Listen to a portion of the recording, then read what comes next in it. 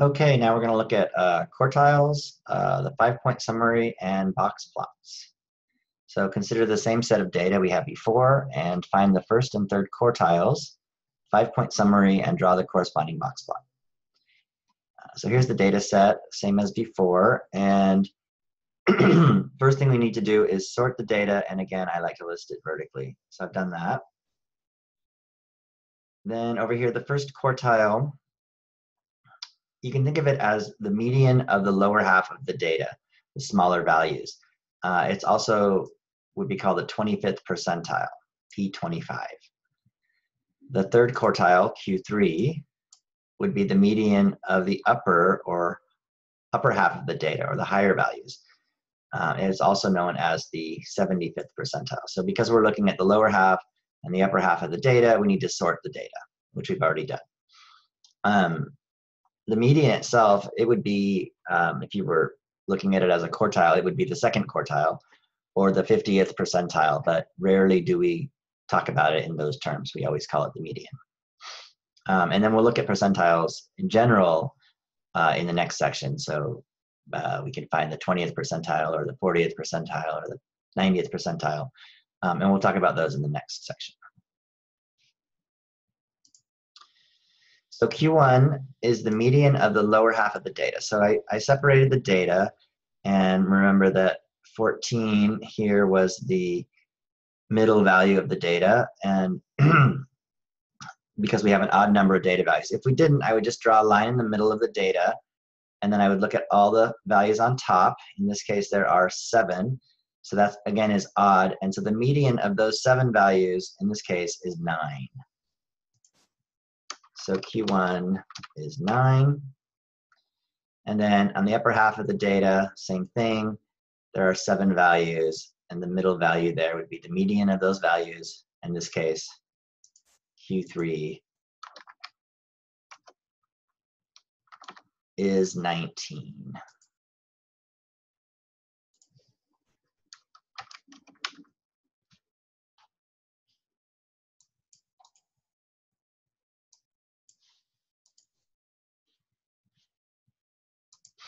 So Q1 is 9, Q3 19.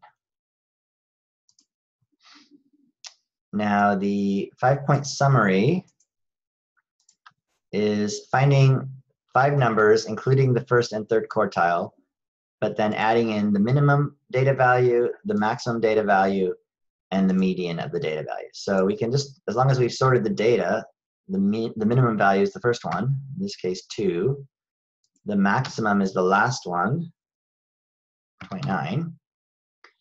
The median, again, is the middle value or the average of the two values in the middle if you have an even number of data values, which we don't. So our median, again, is 14. And we just found our quartiles, the median of the top half, which was 9, and Q3, the median of the bottom half, which was 19. So that's what we call our five-point summary. The min, Q1, the median, Q3, and the maximum. Then we can represent that graphically with what's called a box plot, or sometimes a box and whisker plot. Um, whenever you're doing anything graphically, we want to set up a scale. So I've already drawn a scale in here with equal spacing. And the scale needs to go from something as small as the smallest value you want to graph to maybe something at least as big as the largest value you want to graph. So because our minimum is 2, I'm going to start our scale at 0. Um, and I'll have my scale go up by 5. So this will be 0. I don't have to put all the values in here, but I go over to, that'll be 10, that'll be 20, and 30. I wouldn't really need this last tick mark because I only need to get up to 29. So now to draw my box plot or my box and whisker plot, um, you know, it's one of these things where the order in which you do it sort of helps us understand how to do it. So we first find our minimum. Uh, my pen is being a little bit weird. If I can reset it. Okay, find our minimum, which is two, right about there. Draw it above my scale. find our maximum, which is 29, so a little less than 30, right about there. And we draw a little hash mark next to each. I don't have to even put 2 and 29 in there. They're, they're over here. Oh, you can't see my hand.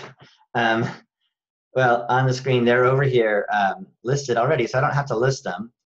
Um, but I put a tick mark at 2 and a tick mark at 29, and then I draw the line between them.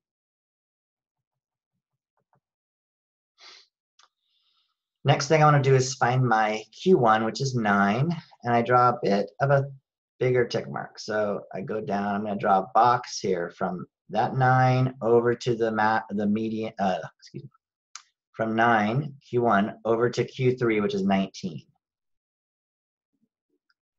And I'm going to make a rectangle there.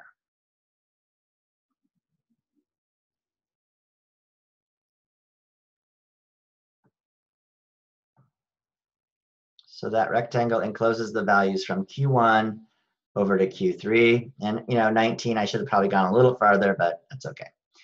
And then the median here is 14, so I draw a middle a line right at where the median would be, down the middle of this rectangle, like that.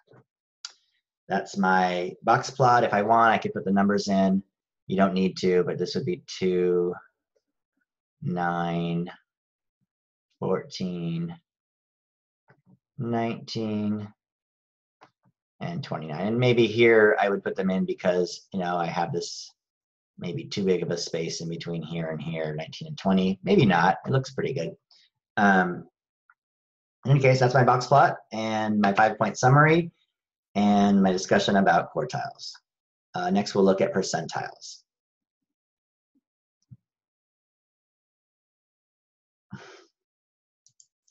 uh can stop the recording. Sorry.